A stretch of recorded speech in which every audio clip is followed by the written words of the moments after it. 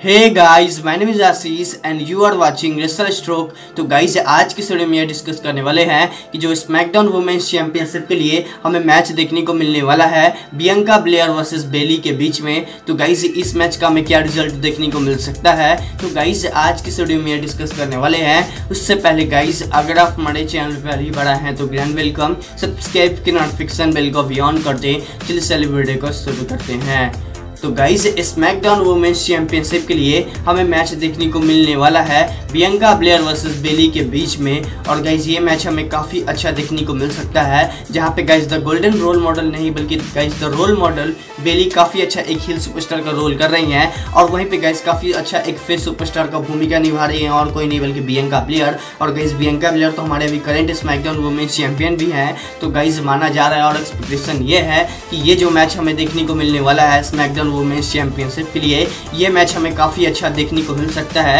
और गाइज़ रिमर्स तो उड़ते उड़ते ये भी आ रहा है कि ऐसा हो सकता है कि हमें सासा बैंक का रिटर्न भी देखने को मिल सकता है। यानी गाइज़ इस मैच में हमें सासा बैंक का रिटर्न देखने को मिल जाएगा और सासा बैंक हो सकता है कि अटैक कर देंगे और किसी पर नहीं, बल्कि बी का प्लेयर पे और वो डिमांड करेंगे स्मैकडाउन वुमेन्स चैंपियनशिप के लिए एक री मैच लेकिन फिर भी गाइज़ अगर सासा बैंक का हमें रिटर्न देखने को नहीं मिलता है तो ये भी मैच हमें काफ़ी अच्छा देखने को मिल सकता है।